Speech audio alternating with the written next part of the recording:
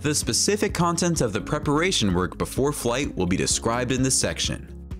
Before taking off, the takeoff and landing point and the flight area should be checked in detail. An open area with a flat ground should be selected as the takeoff and landing points.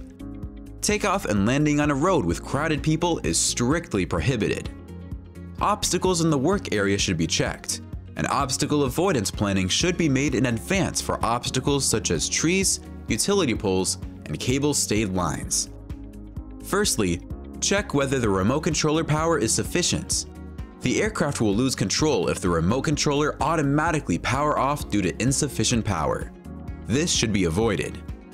The antenna should be properly unfolded, avoiding pointing at the drone as the signal will be the weakest in this way. Check whether the stick mode is correct. If not, correct it. Agricultural drone inspection. Unfold the arms of the agricultural drone. Confirm that all the buckles are fastened. Check whether the propellers can be unfolded normally, and replace the damaged and cracked propellers in pairs of time.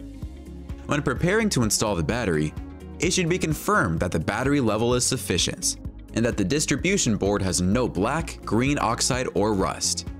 If found, it should be replaced in time. When installing the battery, slowly insert it from above. Press the battery and confirm that the battery is securely installed by hearing a click voice. Short press and long press the battery power button to turn on the drone. Check whether the status bar of the remote controller is green.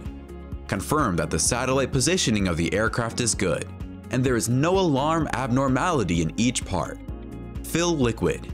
After the above inspection of the aircraft and the remote controller, and confirming that there is no error, reconfirm that the surrounding area of the aircraft and the operating area are safe and free of personnel.